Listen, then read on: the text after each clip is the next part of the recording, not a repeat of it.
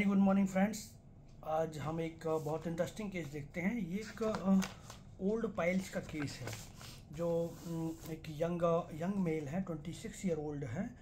वो ये कब आता है मेरे पास, जब इसको तकलीफ़ बहुत ज़्यादा हो रही है? और इसकी एक, कोई कज़न सिस्टर है, उसने ट्रीटमेंट लिया था तो उसका पाइल्स बेटर हो चुका है। तो उसने इधर रिफ़र किया तो ये पेशेंट आया मेरे पास। ठीक है? तो ये तो पहले घर पे ही आ गए थे क्योंकि वहीं आसपास रहता है। तो फिर मैंने कहा क्लिनिक पे आ जाओ आप। तो ये जब क्लिनिक पे आता है तो बोलता है कि, डॉक्टर साहब, मैं बैठ नहीं पा रहा हूँ। ठीक है, लहकता है, दर्द बना रहता है। सुबह दवा खा लेता हूँ तो हल्का आराम रहता है, बाकी 24 घंटे दर्द बना रहता है और लेटरिंग करने के बाद तकलीफ़ और ज़्यादा बढ़ जाती है। बैठ नहीं पाता हूँ। पहले तो दर्द कम था, लेकिन अब ज़्यादा हो रहा है। अभी दवाई खा लेता हूँ तो बाहर का दर्द कम हो जाता है, लेकिन अंदर का दर्द बना हुआ रहता है। तो मैंने पूछा, मन क्या करता है इस टाइम पे? तो बोला, मन करता है लेट जाऊँ, ज़्यादा देर तक मैं बैठ नहीं पाता, ठीक है? और भगवान को याद करता हूँ।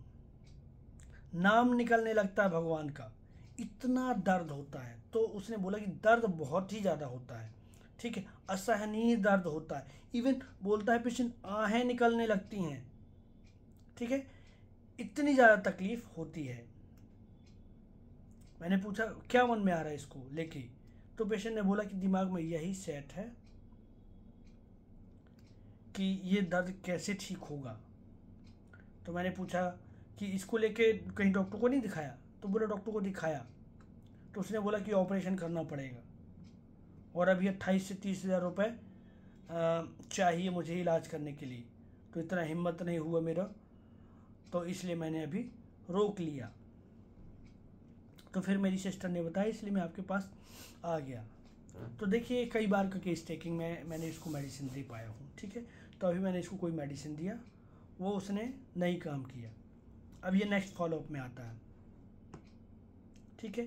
तो अब ये बोलता है कि मैं क्रीम लगा लेता हूँ तो आराम मिलता है। दिन भर बिल्कुल ठीक रहता है। ठीक है? खाना खाता हूँ तो बहुत ज़्यादा जलन होती है। गैस बहुत ज़्यादा बनती है। खाना खाने में इधर एसिडिटी ज़्यादा होती है। तो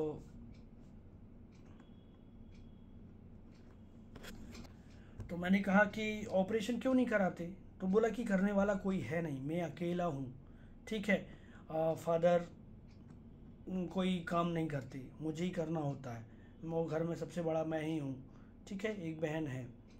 तो इस ये सोच के कि भी मैं ऑपरेशन नहीं करा रहा हूँ कि कौन करेगा फिर ठीक है? और दर्द मैंने पूछा दर्द कब बढ़ता है? तो बोला लेटरिन जाने के बाद इवन छींकने से इवन खांसने से, जब स्टूल कड़ा होता है तो भी बहुत दर्द होता है। और स्टूल तो इतना कड़ा होता है कि मैं थक जाता हूँ। स्टूल पास करते करते कि अरे, हे भगवान, क्या, कितना दर्द है। ठीक है, ये इस पेशेंट ने ये बोला। सहन से बाहर हो जाता है, बे, बेचैन हो जाता है मन। ठीक है तो मैंने कहा, और मन में क्या, कैसा फील होता है? तो बोलता है कि मन में ऐसा लगता है कि लगता है इस दर्द को काट डालूं। ठीक है? इतना ज़्यादा दर्द होता है। उस जगह को काट दूँ मैं। बेचैन हो जाता है। गुस्सा आती है। गालियाँ निकलती हैं। ठीक है? ये सब होता है। तो फिर और बोला बार बार स्टूल जाने की इच्छा होती है। और जब अर्जिंग होती है ना, तब ज़्यादा दर्द होता है। लेटरिन की जैसी इच्छा होती है तो दर्द बढ़ जाता है। खाने के बाद दर्द बढ़ जाता है। फिर मैंने पूछा अभी और और कुछ बताओगे? तो बोलता है कि यही यही चल रहा बहुत टाइम से। ठीक है कुछ खा नहीं पा रहा हूँ मैं जो भी खाता हूँ बस पेट में रख रखा रह जाता है वो पचता नहीं है। ठीक है देखो आप पेट भी इतना ज़्यादा फूलने लगा है और आ, मैंने जिम जाने को सोचा तो मम्मा ने मना कर दिया कि अभी जिम मत जाओ। ठीक है और तो मैंने कहा कि दर्द की वजह से क्या सोच आ रही है? बोला, ये दर्द ठीक ही नहीं हो रहा है, इतना भयंकर दर्द है, इसमें तो ऐसा गुस्सा बहुत आता है। इवन मैं इवन मैं भगवान को कोसता हूँ, भगवान को कोसता हूँ कि किस तरीके का मुझे दर्द दिया है आपने। गालियाँ बहुत आती हैं मुझे, ठीक है? दर्द में ऐसा लगता है कि प्राण निकल जाए तो ज़्यादा अच्छा है, इतना तकलीफ़ होता है। तो क्रीम लगा लेता हूँ तो थोड़ा सा बेहतर हो जाता है। और ये ऑब्जर्वेशन था तो जो पेशेंट था ना बार बार ऐसे कर करके मुझे बता रहा था ठीक है कि इस तरीके का इतना गांठ हो गया है और वो ऐसे करके ऐसे करके वो पूरा पूरा जस्टिकुलेट करके मुझे बता रहा था पूरा फुल फुल कम्युनिकेट करने की कोशिश कर रहा था वो किस तरीके का प्रॉब्लम है उसको। तो अभी मैंने कहा अभी क्या कर रहे हो आप? तो बोला कि मैं प्राइवेट जॉब करता हूँ ठीक है और आ, मैंने मैं तो बचपन से ही शुरू शुरू कर दिया था काम करना बहुत छोटा था तब, क्योंकि घर में करने वाला कोई था नहीं। मुझे ही सब कुछ करना था। घर के हालात देखकर मैं थोड़ा समझदार था, इसलिए मुझे वो सब शुरू करना पड़ा। ठीक है? घर की देख रेख फैमिली संभालना इवन सिस्टर की शादी भी मैंने करी, कोई इवन कर्जा भी नहीं लिया मैंने और वो सब किया। तो अभी तो मैंने अपने आप को छोड़ ही दिया है। फैमिली पर ज़्यादा मेरा फोकस था और बीमारी में मैंने शुरुआत में लापरवाही ज़रूर करी है। पहले पहले, लेकिन मैंने घर के हालातों को ज़्यादा समझा और एक छोटे से मैंने काम शुरू कर दिया। तो अभी तो मेरा बजट ही नहीं था और अभी भी मेरा बजट नहीं है कि मैं ऑपरेशन करा सकूँ, ठीक है? और मामा की दवाई में भी पैसा लगता है तो मुझे वो सब पहले देखना पड़ता है।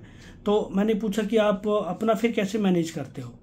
तो बोलता है कि मैं अपना मैनेज करता हूँ, इवन मैं घूमना, फिरना, सब कुछ करता हूँ। जब जैसे कि मेरा मंथली मंथली सैलरी आता है ना तो मैं उसको मेंटेन करके चलता हूँ। मैं, मुझे जहाँ खर्च करना होता है, मैं कर लेता हूँ, लेकिन सोच समझ के खर्च करता हूँ। मुझे मालूम है कि इस महीने मुझे इतना इतना देना लेना है तो मैं वो कर लूँगा। यदि वो हो जाता है, फिर उसके बाद मैं अपने ऊपर खर्च करता हूँ। ठीक है? और इतना कंजूसी से नहीं चलता। लेकिन मैं थोड़ा सा समझ के चलता हूँ कि कहाँ मुझे कितनी ज़रूरत है। उस हिसाब से मैं अपने आप को आगे बढ़ाता हूँ। और मेरा नेचर है साफ़ सफ़ाई मुझे बहुत ज़्यादा पसंद है। सब चीज़ें व्यवस्थित चाहिए रहती हैं, तब जाके मैं, तब मुझे चैन पड़ता है। तो अभी ये फिर से फॉलोअप में आया है। ये मेरा थर्ड फॉलोअप था। ठीक है, अभी तक मैं मेडिसिन समझ नहीं पाया था। समझ गया था बट मैं दे नहीं पाया एक्चुअली मैं वो कहीं एक्चुअली मुझे एक रूबरिक ने मुझे ट्रैप कर दिया था। ठीक है तो अभी इस बार आता है तो बोलता है कि डॉक्टर साहब, अभी तो ऐसा लग रहा है ना उस मोशन में। कि खाने के बाद अभी ये इसने, ये कहीं गया था पेशेंट मतलब कहीं बाहर घूमने गया था तो उसके बाद उसने कुछ खा पी लिया। तो उसका ऐसा लग रहा है कि डॉक्टर साहब अभी वो लेटरिन के रास्ते पे बहुत ज़्यादा जलन हो रही है और बार बार मोशन आ रहा है। ऐसा लग रहा है कि कहीं पैंट ही गड़बड़ ना हो जाए, ठीक है? पैंट में ही मोशन ना हो जाए। और अभी बहुत ज़्यादा दर्द है और खुजली बहुत होती है उसमें, ठीक है? अभी भी मैं बैठ नहीं पा रहा हूँ, खड़ा नहीं हो पा रहा हूँ, चल नहीं पा रहा हूँ, बहुत मुश्किल हो रही है मेरे को, ठीक है? और उसको एक प्रॉब्लम और थी, उसको खुजली थी बैक में, फंगस भी था तो उसका बहुत ज़्यादा खुजली हो रही है, और वो क्या बोल रहा है कि मुझे इस खुजली को लेके ना बड़ा अजीब सा लगता है, बेकार लगता है, क्योंकि मुझे नहाने वहाने का शौक़ है, स्विमिंग पूल में जाने का तो मैं वहाँ पे कपड़े नहीं उतार पाता हूँ, मुझे ख़राब लगता है कि लोग क्या देख के, लोग क्या कहेंगे मेरे को। ठीक है। तो एक इंसिडेंस और बताया था उसने कि उसकी गर्लफ्रेंड थी 2015 में। उससे ब्रेकअप हो गया क्योंकि वो थोड़ा सस्पिशियस थी। उसको ऐसा लगता था कि हस्बैंड ये लड़का के कई सारे अफेयर्स हैं और दूसरी लड़कियों से मिलता है। तो फिर उसने आ, वो लड़की इसको छोड़ के चली गई। बट इसको बहुत ज़्यादा खास इम्पैक्ट नहीं हुआ। तो इट वॉज़ द केस इस केस में बहुत सारे रूब्रिक्स आ जाएँगे तो इस केस को समझते हैं। तो मैं बता रहा हूँ आपको ना, सबसे इम्पोर्टेंट क्या था, लेकिन इसको निकालना पड़ा। ठीक है तो बहुत, यही है प्रैक्टिस में कि कई बार आपको कुछ चीज़ें इंपॉर्टेंट लगती हैं बट आपको निकालना पड़ता है, क्योंकि वो ऑब्जर्वेशन का था। तो observation many times cover the peripheral of the case but this is not the case actually में। ठीक है? तो जो आप ऑब्जर्वेशन में रखते हैं, वो ध्यान में रखने का है। तो मेरा ये फिफ्टीन फिफ्टीन ट्वेंटी डेज़ ये इसलिए इस रूब्रिक ने खाया मेरा। ठीक है? तो वो वो क्या था? ऐसे ऐसे करके बता रहा था, ऐसे करके ऐसे करके ऐसे करके। इट वॉज़ द कम्युनिकेशन तो absolutely he was the communicative guys but this remedy is not covering communicative और जो मैंने रेमेडी दे रखी थी उसको, वो सब कम्युनिकेटिव में थी जैसे फॉस्फोरस थी और लैकेसिस थी। तो अभी देखिए, इस केस में जो मैंने वापस रूब्रिक लिए थे, फिर फाइनली जब मैं रूब्रिक जोड़ता गया जोड़ता गया तो फिर एक रेमेडी आती है हमारे पास, वो देखते हैं। तो सबसे पहले इसका जो एलमेंट है ना ailment from care and worries ठीक है? सबका फैमिली का ध्यान रख रहा है है? तो उसने तुरंत रिस्पॉन्सिबिलिटी ले ली और किसके लिए? क्योंकि फैमिली का ध्यान रख रहा है, सबका करना, करने की कोशिश कर रहा है। इवन ये अपने आप को अभी अपने को अलग कर दिया मतलब इनडिफरेंस हो गया फॉर हिमसेल्फ लेकिन वो दूसरों के लिए किए जा रहा है। फैमिली में पेरेंट्स का मदर का, सबकी दवाई देखना, ये करना, वो करना, इसलिए उसने शुरू से ही काम धंधा करना शुरू कर दिया था, जब वो बहुत छोटा था। तो ailment from care and worries यहाँ से उसका प्रॉब्लम आया। अब एंगर पेन अबाउट ठीक है? तो एंगर एंगर पेन अबाउट तो उसने बोला, गुस्सा बहुत आता है, ऐसा लगता है कट कर दूँ उस एरिया को। तो एंगर पेन अबाउट और कट मिटिलेट डिज़ायर टू ये रूब्रिक है हमारे पास, कि जब ऐसा कोई बोलता है ना पेशेंट कि मैं, ऐसा लगता है कि इस पार्ट को मैं काट डालूं तो कट मिटिलेट डिज़ायर एक रूब्रिक है, देखिए ब्लैस फेमी गॉड के ऊपर गुस्सा आता है। गॉड को ये बुरा भला कहता है। बोलता है कि इतना दर्द तुमने क्यों दिया मुझे? ठीक है? तो गॉड को गॉड को गालियाँ देता है। एब्यूजिव इंसल्टिंग गुस्से में। और गॉड की निंदा करता है। तो दिस इज़ ब्लैसफेमी हमारे पास रूब्रिक है ब्लैसफेमी हम्म? तो अभी रूब्रिक लिया। Element from care and worries गुस्सा करता है एंगर पेन अबाउट ब्लैसफेमी और एब्यूजिव इंसल्टिंग ठीक है? अब पेशेंट बोलता है कि बैठ नहीं पा रहा हूँ मैं। ठीक है काम इसका बहुत दिक्कत हो रहा है। तो ये है बिज़नेस इनकेपेसिटी बैठने का काम है उसका बट वो बैठ नहीं पा रहा है। इनकेपेबल हो गया है अपने आ, काम को लेके। तो बैठ नहीं पा रहा तो दिस इज़ बिज़नेस इनकेपेसिटी अभी देखिए कई बार वो जब एक पंद्रह दिन हो गया बीस दिन हो गया रेमेडी मैंने गलत दे दिया तो उसको अब ऐसा लगता है कि ये ठीक नहीं होगा। तो ये डाउटफुल रिकवरी ऑफ़ और उसने बताया कि मैं एकदम अपना सामान सब व्यवस्थित रखता हूँ तो ये है फर्स्टीरियस अभी क्या होता है उसने बाहर जाके खा लिया था और अभी ऐसा लगता है कि आ, लगता है कि मेरा पैंट ही खराब हो जाएगा। स्टूल जाने की बार बार इच्छा हो रही है। कंट्रोल नहीं कर पा रहा फियर ऑफ़ लूजिंग कंट्रोल ठीक है? और सेंसिटिव टू पेन बहुत ज़्यादा दर्द दर्द की वजह से दर्द बर्दाश्त नहीं हो रहा है। ठीक है? और उसने बताया कि मैं क्रीम लगाता हूँ तो, तुम मेरा को थोड़ा सा आराम मिलता है। तो ये क्या है? मैग्नेटिज्म एमेलोरेट तो ये बहुत इंपॉर्टेंट रूब्रिक है मैग्नेटिज्म एमेलोरेट जो फॉस्फोरस में है इवन फॉस्फोरस लैकेसिस में भी है। तो कई सारे पेशेंट कहेंगे डॉक्टर साहब जब मेरे को दर्द होता है ना दर्द होता है तो मैं ये पट्टी लगा लेता हूँ। वो क्रीम लगा लेता हूँ। तो कई लेडीज़ आएँगी हेडेक में बाम लगाती हैं सर्वाइकल में कोई ऑइंटमेंट लगा लेती हैं तो ये उससे बेटर फील करते हैं। तो this is this is magnetism ameliorate उसके कांटेक्ट पर उनको रिलीफ फील होता है। तो finally I gave him nux vomica 200 and after giving nux vomica 200 उसके बाद से उसका प्रॉब्लम ऑलमोस्ट बेटर हो गया। और अभी मैं फॉलो भी पोस्ट कर दूँगा आपको।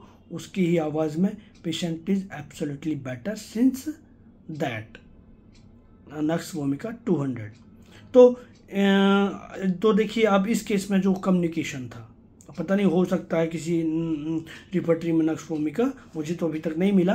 तो ये कम्युनिकेटिव रूब्रिक में फंस फंस करके मैं नक्स वोमिका तक नहीं पहुँच पा रहा था। बट तो नक्स वोमिका जो पेशेंट होता है ना, बहुत ज़्यादा एंग्री होता है इरिटेबल होता है स्पेशली पेन के टाइम पे।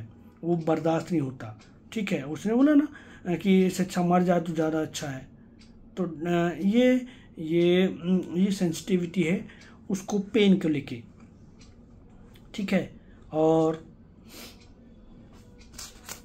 और नक्सोमी का पेशेंट काफ़ी एम्बिशियस होते हैं और उनको एम्बिशियस इंडस्ट्रियस मेहनती बहुत होते हैं वो लोग। जैसे ये लड़का बहुत मेहनती है बहुत मेहनत शुरुआत से इसने मेहनत करना शुरू कर दिया था ठीक है? तो industrious and ambition increase and very fastidious very meticulous सब चीज़ें इनको टाइम पे व्यवस्थित चाहिए रहता है। हम्म? तो this is all about nux vomica nux vomica देने से ये पेशेंट एब्सोल्युटली बेटर हो गया. तो अभी आप लोग इसका फॉलोअप सुन सकते हैं.